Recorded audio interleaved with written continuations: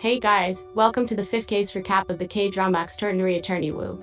With a plot spoiler alert, let's get to it. Du Young, a sale director of the ATM machine manufacturing company named Daewoo, presents their newly advanced ATM machine to a group of bank executives. After his presentation, the bank executives remark that a similar technology was introduced to them by another ATM machine manufacturer named Gumgun. Du Young argues that the technology is theirs and will be applying for a patent as well.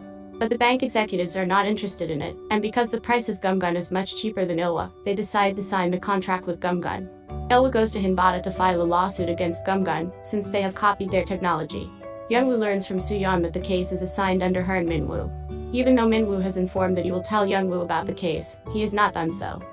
Youngwoo goes to his office to discuss the case, but she realizes that Minwoo has already started working on the case without getting her involved. Minutes before their meeting with Du Young, Minwoo hands her the case material, so Youngwoo doesn't get enough time to go through it before meeting their client. Junho notices the rest of the members in the meeting, neglecting the presence of Youngwoo. Minwoo manages to impress Du Young. So when they exchange business cards, Du Young only accepts Minwoo's and not Youngwoo's. Minwoo even makes Du Young agree to share all the information on the case with him.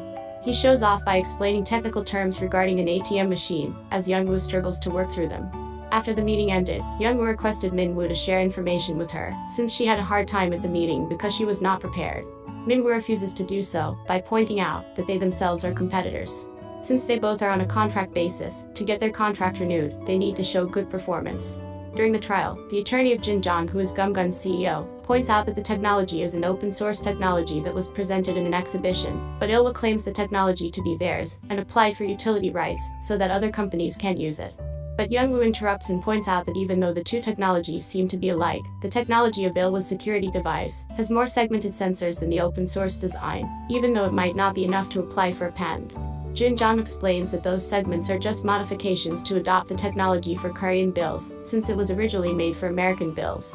Du Young claims that he nor anyone from their company has ever attended that exhibition, Jin Jong also adds that an ATM manufacturer named Leaders ATM is the first to use the technology, but with Ilwa's influence, the company has gone bankrupt. After the trial, Youngwoo asks Du Young if he really used the open source technology. Du Young slides from the question to answer a phone call. Minwoo advises Youngwoo that she shouldn't be questioning the client's honesty, since it would cause damage not only to Youngwoo, but Minwoo as well. They find Young and Jin Jong fighting outside the courtroom. Minwoo teases her for not being able to figure out who is lying and who is not. Later that day, Youngwoo meets with Geurami and tells her about her difficulties to tell if someone is lying or not. Geurami has given her books to refer to human body language to detect lying. She also gives her advice on how to detect a lying person. Geurami then makes statements and asks Youngwoo to tell if she's lying or not. One of those statements is Junho is interested in Youngwoo. Minwoo gets a call from Myungseok as he plays basketball with Junho. Junho overhears Minwoo bragging about him having to do most of the work because Youngwoo is autistic. Junho gets offended by it. So when they play after the call he makes sure to strike Minwoo hard and walks away from the game. The next day, Junho also gives Youngwoo advice on how to detect a lying person, as he drives her to meet Du Young. Junho offers to help her practice before meeting Du Young, and asks her to guess if Junho is lying or not. Youngwoo makes the same statement Geurami made, that is if Junho is interested in Youngwoo. Junho goes speechless on hearing the statement. Junho just tells her that it is a difficult question for Du Young. In the meantime, Minwoo meets with an ex-employee of the leader's ATM company, the ex-employee confirms that Ilwa has adopted an open source technology. He also confirms that there are no Leaders ATM products available ever since they went bankrupt. When Junho and Youngwoo get to Du Young's office, they find Du Young seriously injured. Du Young tells them that he was in a car accident. Du Young takes them to Song Chil, who the person in charge of the development of the ATM machine, since they have questions about the ATM machine. When she asks Song Chil about the production process, Youngwoo realizes that is lying by noticing the sign Geurami and Junho taught her to look for. As she questions him, Du Young gets a call from Minwoo, confirming that all of Leader's ATM machines have been disposed of.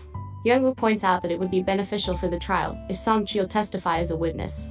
Because she is already aware that Song Chil is lying, she advises him on how to testify in court to make it look as if he's not lying. With Youngwoo's advice, Song Chil manages to convince everyone in the court that the technology was not copied.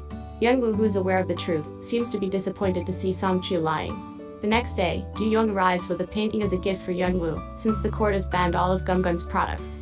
Du Young removes the attorney's code of ethic which Youngwoo has hung on the wall, and replace it with the painting he has gifted her, since the painting symbolizes wealth. Youngwoo receives a letter from Jin Jong. He tells her that Ilwa is monopolizing a technology that is open source. With a ban on sales, Gumgun is likely to go out of business. Their clients are demanding explanations as well. He asks her if she wants to prove herself as a competent attorney who only wins in court, or as an honorable attorney who respects the truth. She goes to Mung Sok first with a letter. Because he's not in his office, she goes to Min Minwoo with it. Min Minwoo gets offended for not receiving a letter as Young Youngwoo did. He scoffs at her when she tells him that they should use the letter to convince Il Ilwa to tell the truth. Min Minwoo brings up the fact that Young Youngwoo herself taught Song Chul to lie in the court. Heartfully Youngwoo returns to her room and places the letter inside her drawer. Later Min Woo informs Young Woo that Gumgun has filed an appeal against the court's decision. Jinjong has managed to find an ATM, manufactured by Leader's ATM in the countryside, and so they have called in for an on-site inspection.